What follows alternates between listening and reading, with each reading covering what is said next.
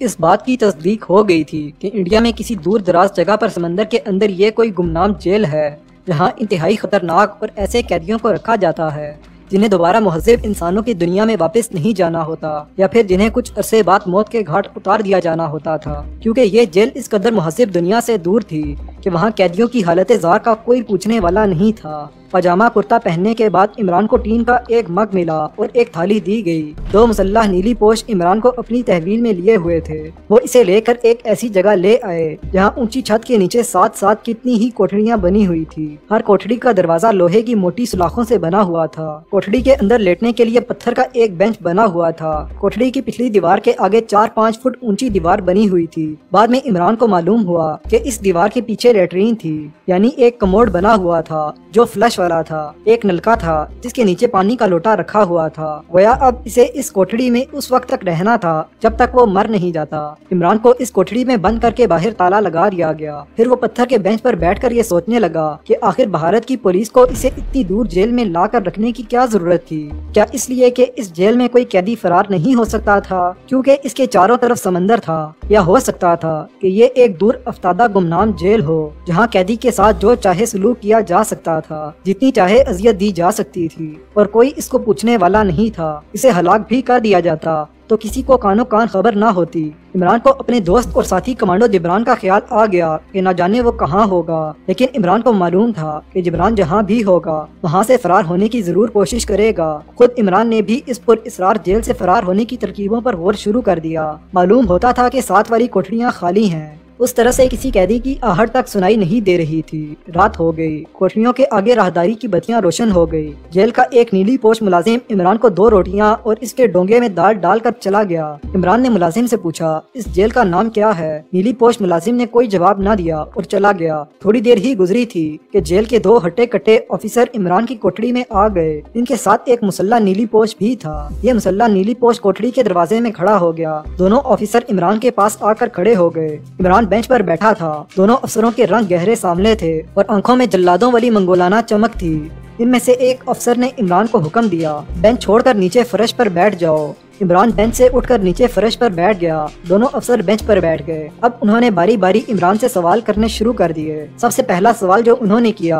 वो ये था कि तुम पाकिस्तान के किस शहर के रहने वाले हो? इमरान ने यूँ ही कह दिया, मैं जहांगीराबाद का रहने वाला हूँ। अफसर ने पूछा, ये जगह पाकिस्तान में कहाँ है? इमरान ने कहा, ये बॉर्डर के करीब एक गाँव है। मैं इस गाँव का हूँ। दूसरे अफसर ने पूछा, तुम्हारे साथ कितने दहशत गर्द इंडिया में दाखिल हुए थे? इमरान ने जवाब दिया, मेरे साथ कोई नहीं था। मुझे हुकूमत पाकिस्तान ने भी नहीं भेजा। मैं अपने तौर पर अपने कश्मीरी मुजाहिदीन भाइयों की मदद करने अकेला ही बॉर्डर क्रॉस करके आया था। तुम झूठ बोल रहे हो, एक अफसर ने गरजदार आवाज़ में कहा। इमरान ने कहा, मैं तो यहाँ मरने के लिए आया हूँ। मुझे झूठ बोलने की क्या ज़रूरत है? दूसरे अफसर ने इमरान को बालों से पकड़कर इसे दो तीन ज़बरदस्त झटके दिए और कहा, हम तुम्हें इतनी आसानी से मरने नहीं देंगे। जब तक तुम हमारे एक एक सवाल का सही सही जवाब नहीं दोगे और हम इसकी तस्दीक नहीं करा लेंगे। तो हम तुम्हें मरने नहीं देंगे। तुम्हें ज़िंदा रखा जाएगा। और एक बात याद रखना कि इस जगह से तुम अपनी ज़िंदगी में कभी फरार नहीं हो सकोगे। और ये कि तुम्हारी किस्मत में एक ऐसी अजियतनाक मौत लिख दी गई है। लेकिन अगर तुमने सच बोला, हमारे सवालों के सच सच जवाब दिए और इसकी तस्दीक भी हो गई तो हम तुम्हें रात के वक्त एक समंदरी जहाज़ में सवार करवा कर एक दूसरे मुल्क के साहिल पर पहुँचा देंगे, जो यहाँ से ज़्यादा दूर नहीं है। और जहाँ से तुम अपने मुल्क के सफारत खाने से रबता पैदा करके अपने वतन पाकिस्तान वापस जा सकोगे। और ये बात हम यूँ ही नहीं कह रहे अगर तुमने हमारी मतलूबा मालूम फराहम कर दी तो हम एक मर्द की तरह अपना वादा ज़रूर पूरा करेंगे। हम तुम्हें आज की रात और कल के दिन की मोहलत देते हैं। तुम अच्छी तरह से गौर कर लो। इसके बाद दोनों ऑफिसर चले गए। इमरान बेंच पर लेट गया। इसने आँखें बंद कर ली और सोचने लगा कि इस फांसी घर से इसे किस तरह फरार होना चाहिए। वो मौत से नहीं डरता था, लेकिन बेबसी की मौत इसे गवारा नहीं थी। अगर दुश्मन से जंग करते हुए या दुश्मन की कैद से फरार होते हुए मौत आ जाए तो ठीक है। लेकिन दुश्मन इसके हाथ पाँव बाँध कर इसे मौत की नींद सुला दे। ये इमरान को गवारा नहीं था। रात हो गई।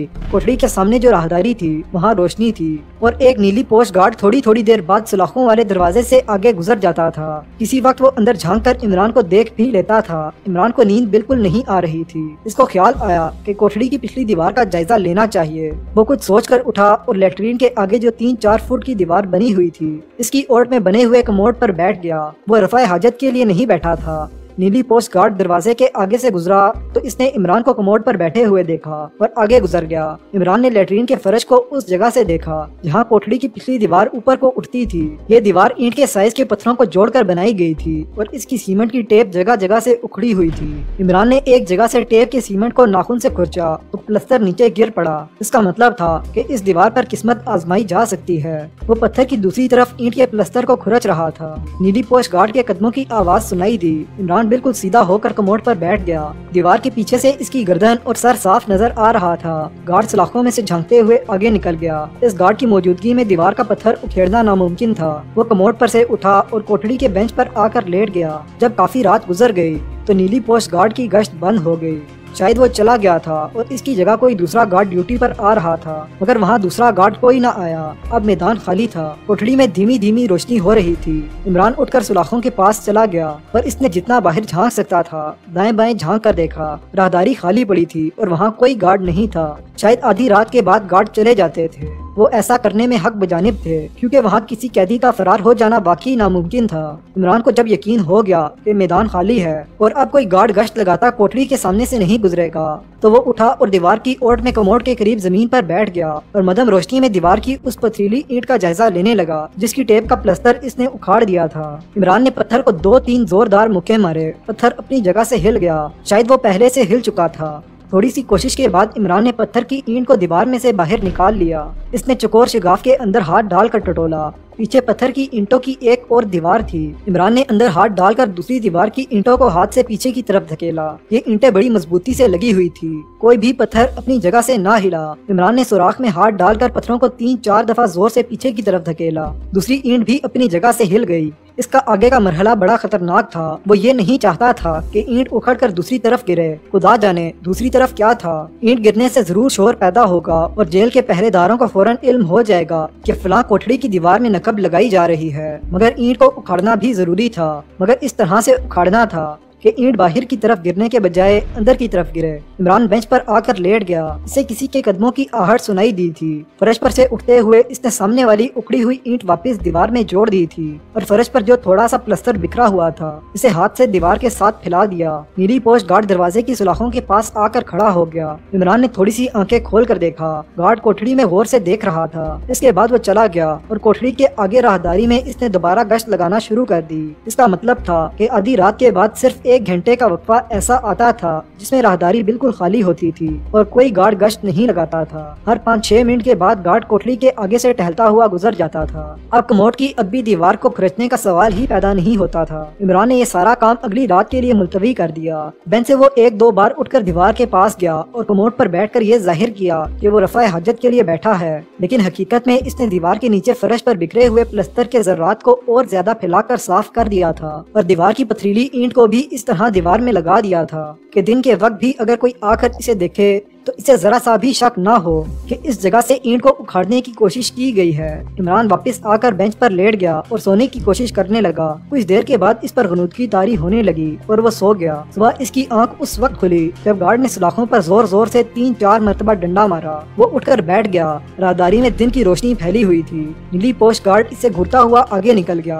वो बेंच पर उठकर बैठ गया। इसने दूसरी कोठरियों की सलाखों पर भी गार्ड के डंडे मारने की आवाज़ सुनी। इसका मतलब था कि इमरान की कोठरी के अलावा अलावा दूसरी कोठरियों में भी कैदी मौजूद थे। सलाखों पर डंडे मारने की दो बार आवाज़ आई। इस कितार में इमरान के अलावा दो और कैदी भी थे। कुछ देर के बाद जेल का एक मुलाजिम इमरान को एक बासी रोटी और चाय दे गया। इमरान ने नाश्ता जहर मार किया। आधे घंटे के बाद नीली पोस्ट गार्ड आया। इसने ताला खोल दिया और इमरान से कहा, बाहर आ जाओ। इमरान खामोशी से उठकर कोठड़ी से बाहर आ गया। राहदारी में थोड़े थोड़े फासले पर दो और कैदी अपनी अपनी कोठरियों के बाहर खड़े थे। दो नीली पोस्ट सिपाही इनकी निगरानी कर रहे थे। जब इमरान भी बाहर आ गया तो सिपाही इन तीनों को अपने दरमियान में लेकर राहदारी में से गुजरते हुए जेल के पिछवाड़े में आ गए। ये एक कुशादा सहन था। धूप निकली हुई थी। सहन की दीवार के ऊपर मचान पर मुसल्ला सिपाही अपने मशीन गन के मोर्चे में बैठे सहन की तरफ़ देख रहे थे। सहन में छह सात और भी कैदी थे, जो इनसे पहले वहाँ टहल रहे थे। नीली पोष सिपाही ने इमरान से कहा, तुम्हें एक घंटा चलने फिरने के लिए दिया जाता है। इतना कहकर सिपाही सहन के बड़े गेट के पास दूसरे सिपाहियों के पास जाकर खड़ा हो गया। ये कुल छह सिपाही थे, हर सिपाही के पास टेन गन थी।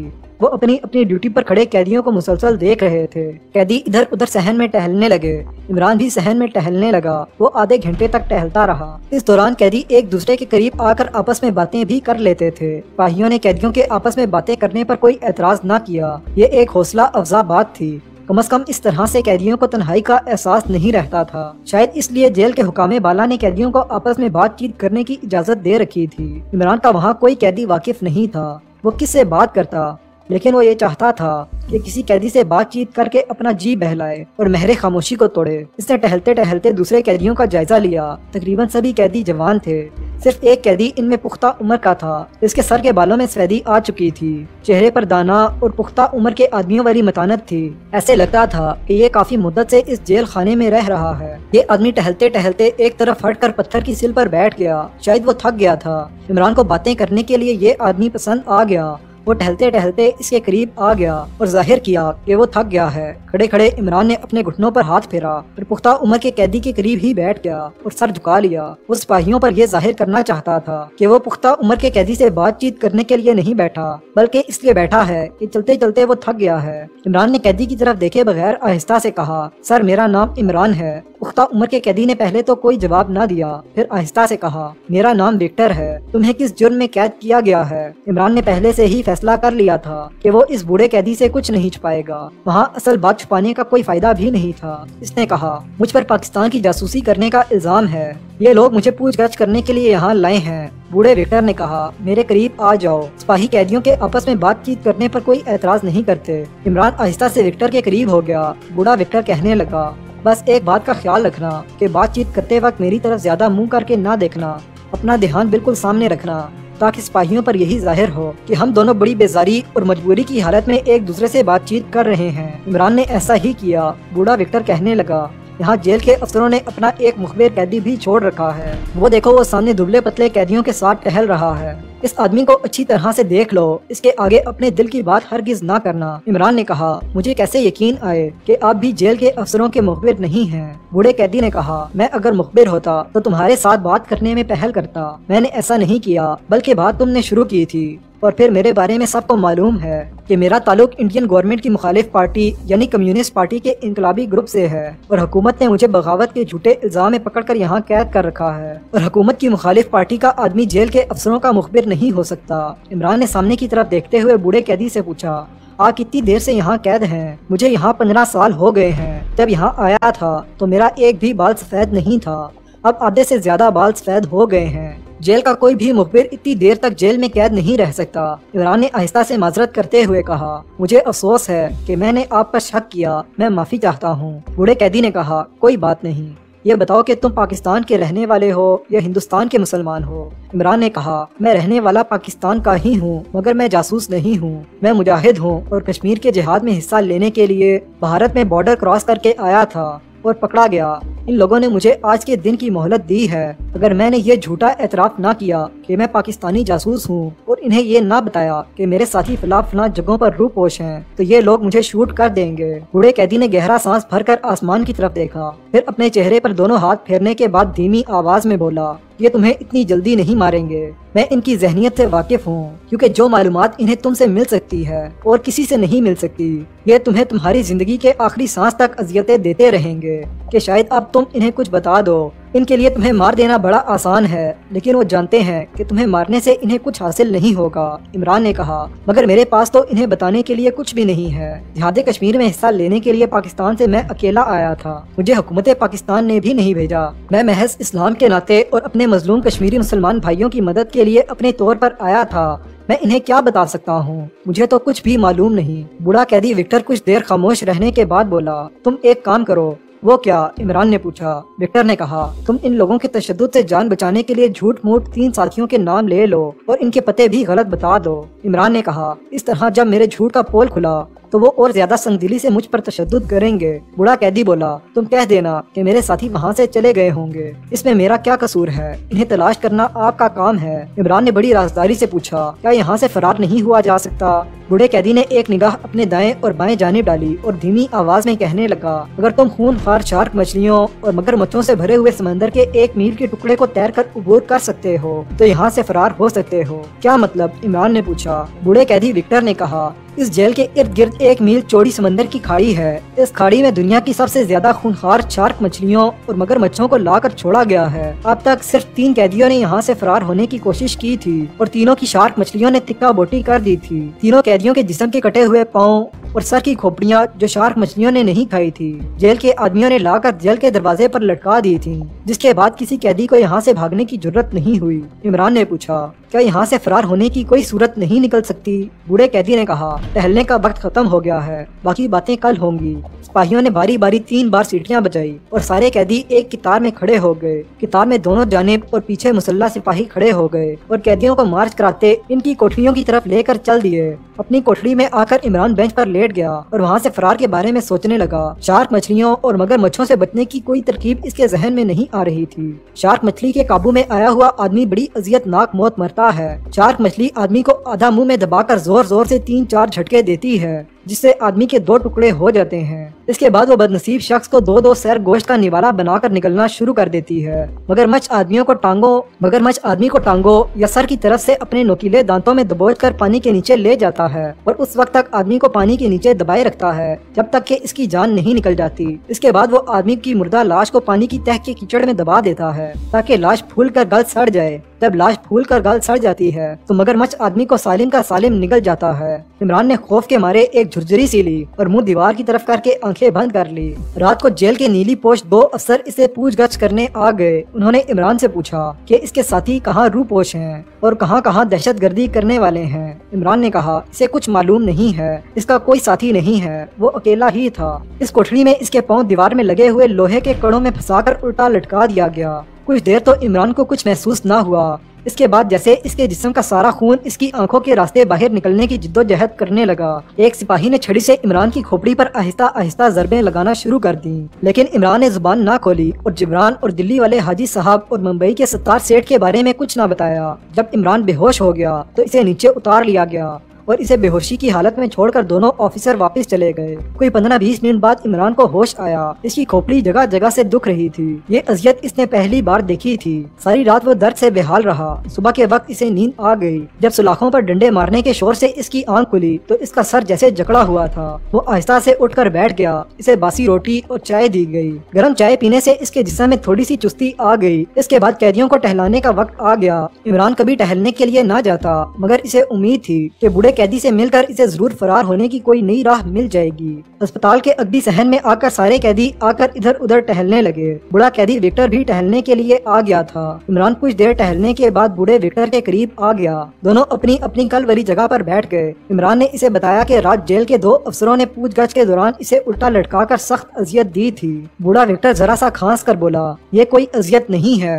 वो तुम्हें ऐसी ऐसी अजियतें देंगे कि तुम दर्द की शिद्दत से बिलबिला कर मौत की तमन्ना करोगे। मगर ये लोग तुम्हें मरने नहीं देंगे। तुम्हें ऐसे सांपों और बिछुओं से डसाया जाएगा, जिनके जहर से आदमी मरता नहीं, लेकिन दर्द से बेहाल होकर दीवारों से सर टकराता फिरता है, मगर दर्द से निजात नहीं मिलती। इमरान कहने लगा, मैंने अहद कर लिया है कि मैं हर हालत में यहाँ से फरार होकर ही रहूँगा। मुझे यकीन है कि शार्कों और मगर मच्छों से भरी हुई समंदर की खाड़ी को मैं अबूर कर लूँगा। मैं बड़ा अच्छा तैराक हूँ। बुढ़ा कैदी विक्टर कुछ ना बोला। बस खामोश बैठा रहा। इमरान ने जब देखा कि विक्टर कोई बात नहीं कर रहा और खामोश हो गया है तो इसने पूछा, क्या यहाँ कोई ऐसी कश्ती नहीं मिल सकती जिस पर सवार होकर ये खूनी खड़ी को उबूर किया जा सके? विक्टर बोला, ये मगरमच्छ और शार्कें आदम खोर है। ये आदम की बू सूंघ कर आती हैं और कश्ती के टुकड़े उड़ा देती हैं और इसमें सवार आदमी को हड़प कर जाती हैं। वैसे भी मैंने अभी तक खाड़ी में कोई कश्ती नहीं देखी।